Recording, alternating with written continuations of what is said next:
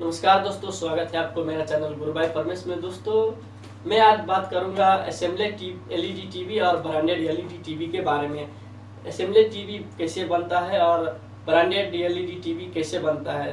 तो दोस्तों, चलिए, अगर आपने मेरा चैनल सब्सक्राइब नहीं किया तो मेरा चैनल सब्सक्राइब कीजिए और वीडियो अच्छा लगे तो वीडियो को शेयर ज़रूर कीजिए। तो चलिए, आगे बढ़ते हैं। तो सबसे पहले मैं आज आपको बताता हूँ कि ब्रांडेड टीवी बनाने का प्रोसेस कैसा है। दोस्तों ब्रांडेड टीवी आप जानते हैं ब्रांडेड टीवी किसे कहते हैं? जो पानासोनिक है सोनी है सैमसंग है और वगैरह वगैरह, जो हर जगह मिलता है, जिसको आप इंटरनेशनल कहते हैं, उसी को कहते हैं ब्रांडेड टीवी दोस्तों, ये ब्रांडेड टीवी बनने का प्रोसेस जो जिस कंपनी में, कोई भी फैक्ट्री में बनाता है ये ब्रांडेड टीवी वहाँ पर बहुत सख्त नियम कानून होते हैं, बहुत प्रोसीडियर आपको फॉलो करने पड़ते हैं, जिसके कारण ब्रांडेड टीवी का क्वालिटी बहुत अच्छा होता है और महँगा भी होता है। क्योंकि वो लोग बहुत प्रोसीडियर आउटपुट पे ज़्यादा ध्यान नहीं देता, उसका क्वालिटी होता है सबसे बेस्ट नंबर एक में मैं बताऊँगा कि इसका क्या प्रोसेस है। नंबर एक में है, जब वहाँ पर जब कोई नया वर्कर काम करने के लिए आता है तो उसको ट्रेनर ट्रेनर होता है। ट्रेनर उसको ट्रेनिंग देता है। ट्रेनिंग देने के बाद में उसको एग्ज़ाम भी होता है। अगर उस एग्ज़ाम में पास हो गया, तभी उसको प्रोडक्शन में लेके जाता है और उसको काम पे लगाता है। ये नंबर वन नंबर दो जब आप प्रोडक्शन में जाते हैं, आप जब काम कर रहे होते हैं तो आपको वहाँ पर हैंड ग्लव लगाना पड़ता है। हैंड ग्लव इसलिए लगाना पड़ता है कि जो पीसीबी होता है एलईडी अंदर का जो पीसीबी पीसीबी उसे कहते हैं, जिसमें पार्ट लगा होता है, वो छोटा छोटा पार्ट लगा होता है, उसको पीसीबी कहते हैं।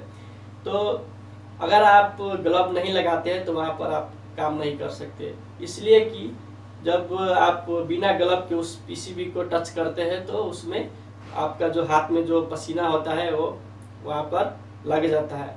पसीना लगने के बाद में अगर वो प्रोसेस हो गया, वो यूज़ करते हैं, उसमें जब करंट जाता है चलाने के टाइम में तो वो उसका जो पार्ट होता है, जहाँ पर आपने टच किया है, वो थोड़ा थोड़ा धीरे धीरे वो बर्न होने लगता है। तो इसलिए वो ज़्यादा दिन तक नहीं चलता है।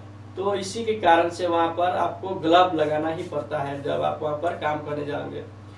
नंबर तीन में है विस्ट्रैप विस्ट्रैप बहुत सारे लोगों को पता नहीं है। मुझे पता है मैंने तीन साल इलेक्ट्रॉनिक कंपनी में काम किया है।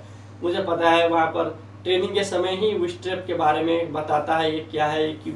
तो मैं थोड़ा सा बता देता हूँ। विस्ट्रेप क्या है? जब आप किसी भी टच करते हैं तो आप एक वहाँ पर अर्थिंग होता है, करंट होता है, उसमें उस स्टेप को कनेक्ट करके आपको हाथ में लगाना पड़ता है। इससे क्या होता है, इस, ये लगाने से उस, वो पीसीबी है, जब आप पीसीबी टच करेंगे तो वो सेफ़ रहेगा। इसमें भी ये क्वालिटी के लिए बहुत इंपॉर्टेंट है वो स्ट्रेप और नंबर चार में है, quality.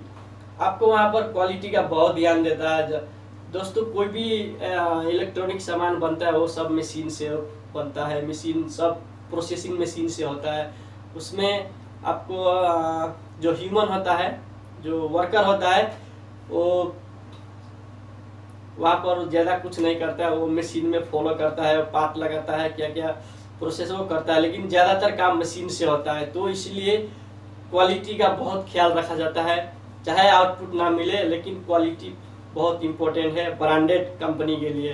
Quality is the first priority आप कहीं कोई भी ब्रांडेड कंपनी में जाइए, वहाँ पर लिखा होता है quality is the first priority तो ये चौथा नंबर है नंबर पाँच में आता जो ब्रांडेड टीवी है, जब कोई भी इलेक्ट्रॉनिक सामान टीवी हो या कुछ भी हो, जो उसका जो पार्ट होता है, वो एक ही कंपनी नहीं बनाता है। वो भी अलग अलग से बन के आता है और वहाँ पर फिट किया जाता है। लेकिन जो पीसीबी का मेन प्रोसेस होता है, वो उसी कंपनी में बनाया जाता है।